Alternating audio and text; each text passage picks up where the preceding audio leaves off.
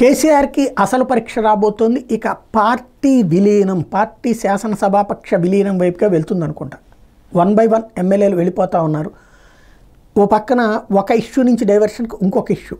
ఏదైతే సంక్షేమ పథకాల విషయంలో డైవర్షన్ కోసం ముందు ఇటు తీసుకొచ్చారు ఎప్పుడైతే ఎమ్మెల్యేల తరలింపు ఇదంతా నడుస్తున్నప్పుడు ఈలోపు సంక్షేమ పథకాలకు సంబంధించిన డబ్బులు సమకూర్చుకున్నారు. రేపు ఇదేదో ఇవ్వబోతున్నారు డబ్బులు. అయితే అందులో చాలామందికి నిరాశ ఉంటుంది. ఎందుకంటే అరవై లక్షల మంది కోరుకుంటే ముప్పై లక్షల మందికో ఇరవై ఐదు లక్షల మందికో లభిస్తుంది. అప్పుడు మిగతా వాళ్ళు అసంతృప్తి ఉంటుంది కదా. ఈలోపు కొత్త రాజకీయం నడవబోతుంది. ఇప్పటికి పది మంది బీఆర్ఎస్ ఎమ్మెల్యేలు మీద చర్య తీసుకోమని స్పీకర్కి ఫిర్యాదు చేసింది టీఆర్ఎస్ అలియాస్ బీఆర్ఎస్. అయితే ఇందుకోసం ఏర్పాటు చేసిన మీటింగ్ పన్నెండు మంది ఎమ్మెల్యేలు గైర్హాజరయ్యారు. అంటే ఈ పదికి ఇంకో పన్నెండు యాడ్ అవుతారు. ఇంకో నలుగురు కనుక చేరితే ఆటోమేటిక్గా బీఆర్ఎస్ చీలిక సాధ్యమవుతుంది. ప్రస్తుతం కేసీఆర్కి అతిపెద్ద సంక్షోభం అదే.